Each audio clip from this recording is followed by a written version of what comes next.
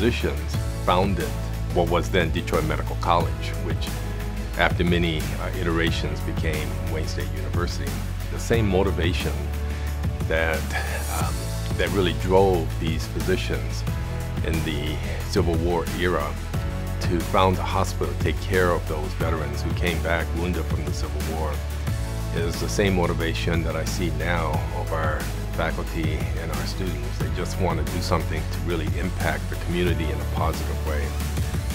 It's really rewarding to know that you're in an environment that has been contributing to the betterment of society for that long. And I think there's a lot of history behind it. I think you can use that almost as like a motivation to keep going with the work that's been done. We're producing 290 physician leaders every year. When I think of the impact of that, just in, in 10 years, to have 3,000 physician leaders, not just changing Detroit, but I, I think changing the country, if not the world. It's important that everybody recognize that if you go to seek medical care in the state of Michigan, you're probably being treated by an alum from Wayne State University.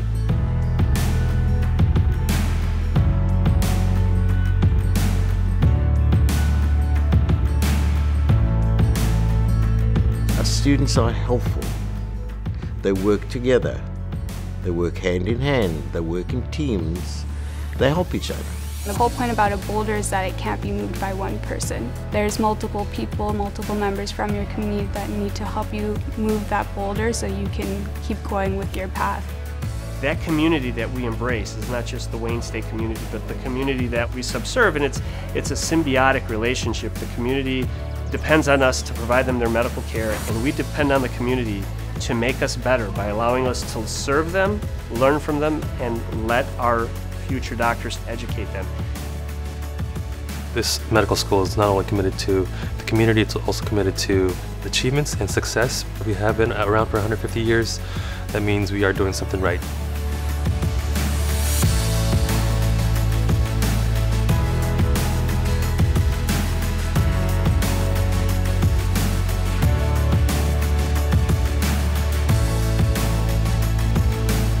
The reason we celebrate the sesquicentennial is that we have a lot to be proud about.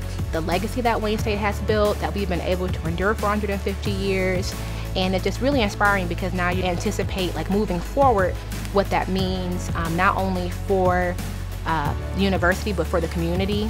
This is not just the end of 150 years, this is the beginning of the next 150 years. And it's really important that this is happening during the, the renaissance of the city of Detroit you have the right community of people, those invested in you, those who really have the same mission, you'll succeed.